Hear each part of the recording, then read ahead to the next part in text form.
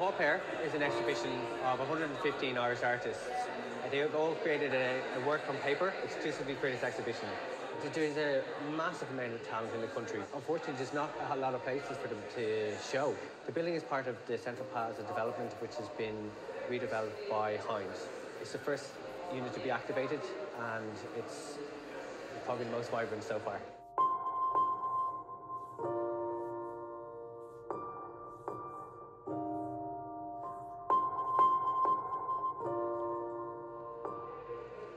There is a lot of talent out there, yeah. And unfortunately, at the moment, the state of Dublin with studios, it's a bit depressing, but I think today is to celebrate art because this is an amazing exhibition and this is what Dublin could be like. I don't work on paper and I don't really work on small scale. So when I got asked, I got a little bit nervous. But after a lot of blood, sweat and tears, um, I kind of came up with this piece. So.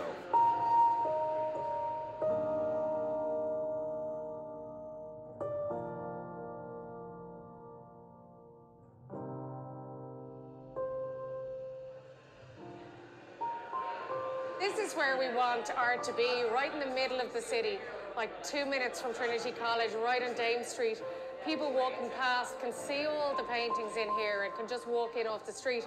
Because a lot of the city's art galleries, well, a lot of them have shut down, and some of them are, you know, in slightly out of the way places, and most of the people who go to them are people who know about them.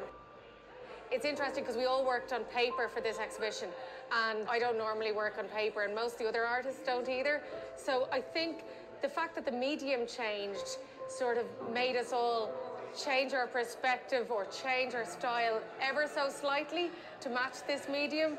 And in that way, I think the exhibition, even though there are so many different artists showing, it's still cohesive. And you can still see how a lot of the pieces sort of go together and make sense together.